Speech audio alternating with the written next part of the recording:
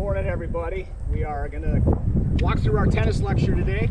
Uh, Mr. Nessheim, Mrs. Faust is behind the camera. You'll see her in a little bit, and Mr. Finley is here as well. So we'll use this lecture for all of our FIED uh, groups, regardless of your age level. All right, so the first thing we're going to need you to know for the test are the court lines, right? So we're going to walk through court lines. We have the outside line, doubles boundary line. That's what you would call it, doubles boundary, okay? Obviously, that'd be two people per side. The inside line is your singles boundary line. That's when you're playing one versus one. The area in between is the alley, and the alley is only there, obviously, in the doubles game. Uh, if your boundary line is for singles is here.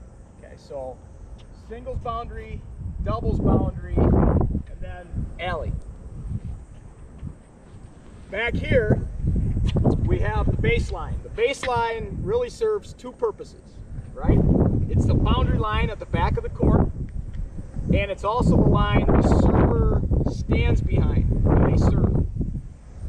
Okay, and that's that's important to know. A lot of times uh, that will get confused, and you'll see people serving from up in here. So you have to be behind the baseline when you serve, and we'll walk through that in a little bit.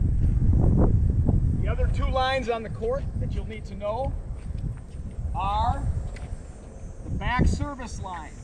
Back service line. Its function or its purpose is a boundary line for the serve. The serve has to land in front of this line. Okay? Actually, the serve lands inside this box that I'm standing in now. Right? So the back service line. Because it's labeled back service line, often people think they serve from here.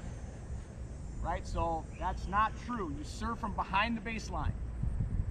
Then the last line you'll need to know is the center service line. And its function is to divide the court into a right side and a left side. So it's a boundary line on the serve uh, for that purpose, I guess. It's a boundary line. All right, so doubles, boundary, singles boundary, alley.